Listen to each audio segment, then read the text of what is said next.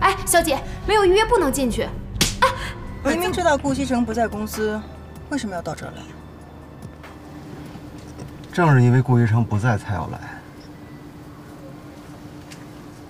你进顾家的时候到了。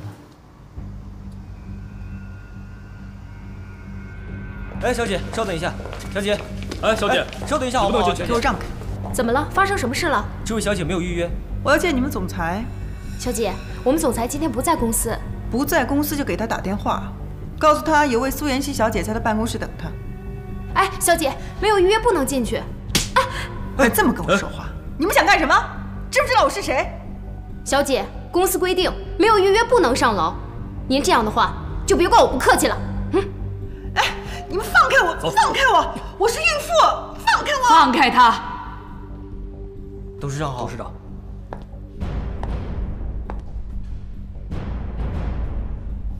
奶奶，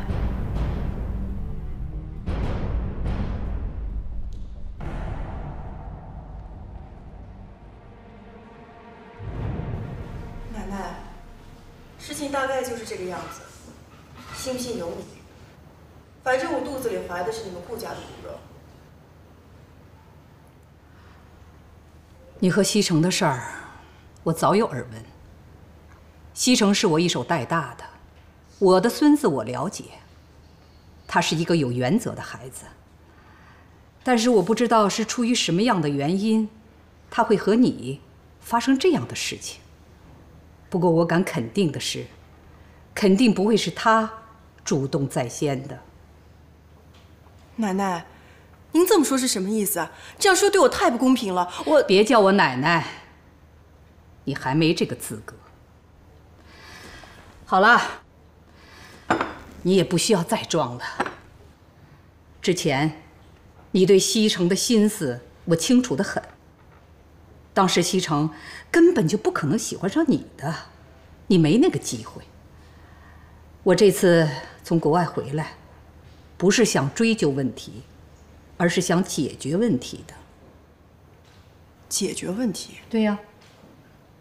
你是想让我打掉这个孩子？这可是条生命，是你们顾家的骨肉。如果你怀的真是我们顾家的骨肉，那我肯定会要你这肚子里的孩子的。西城那儿你也不用担心，我会让他承认你的。但是，如果一旦让我知道不是，那可就别怪我对你不客气了。这个您就放心吧，我肚子里怀的，就是顾西城的孩子。哼，妈。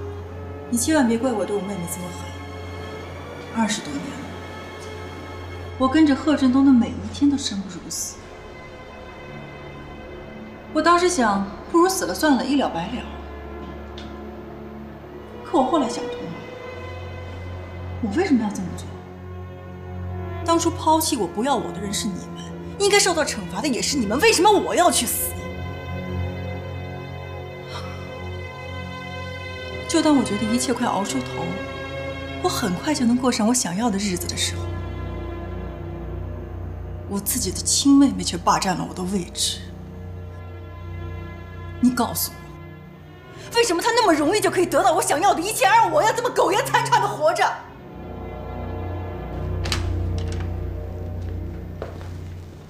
不过没关系，很快一切都会回到原点。我一定会过上我想要的生活。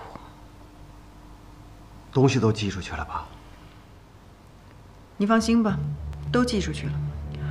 而且我还做了些手脚，我现在就能想象出南宫琉璃收到那份文件的表情。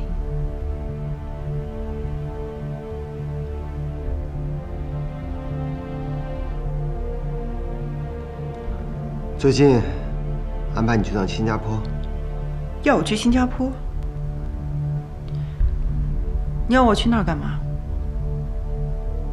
去了你就知道了。